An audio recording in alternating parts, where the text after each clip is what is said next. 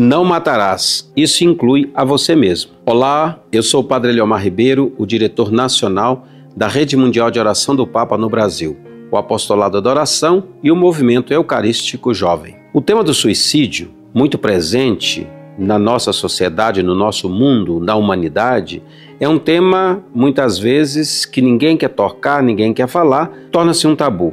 Mas é importante considerar que a questão do suicídio está presente na vida de muitos jovens, sobretudo, de muitas pessoas que vão perdendo um pouco a esperança, o gosto pela vida e encontram no suicídio o fim para a sua vida, para todas as coisas.